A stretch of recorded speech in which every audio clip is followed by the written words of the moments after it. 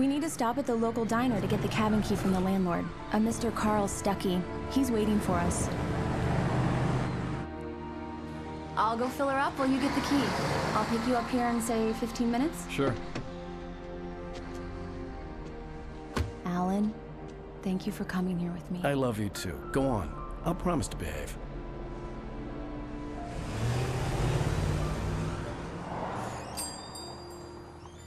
I'd forgotten there were still places like this. Towns where everybody knew everybody.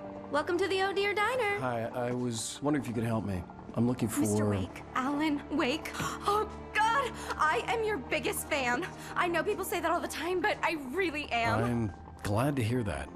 Rose. Rose, I'm looking for Mr. Stuckey. Carl Stuckey? Carl? Oh, of course, Mr. Wake. He must have gone to visit the restroom. He'll be back in a moment. I can't believe it. I've got all your books. I got the cutout from the bookstore when they took it out of the window. And you keep it here. Well, okay. Good for you.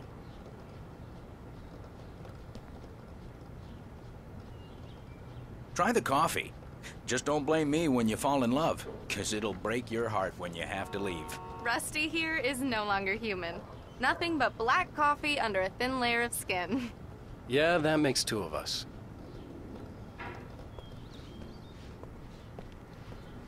Are you staying long? Do me a favor, Sonny. I could really use a tune right now. Coconut, number six in the jukebox. I'd do it myself, but both of my legs have gone to sleep. Bad circulation. Yeah. Are you serious? Coconut again? You disgust me. Call yourself a rocker. Unbelievable. Ha!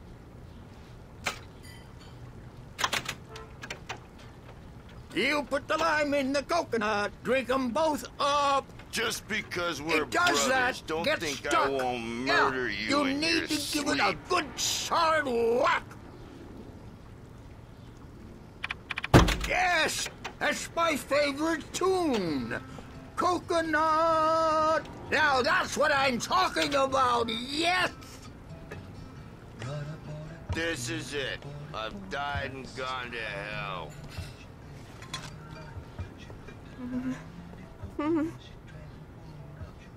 Don't go in there, young man.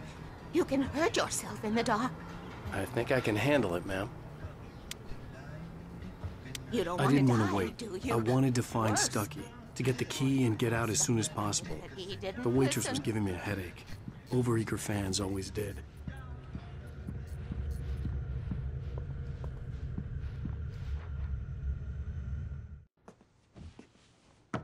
Hello? Mr. Stuckey?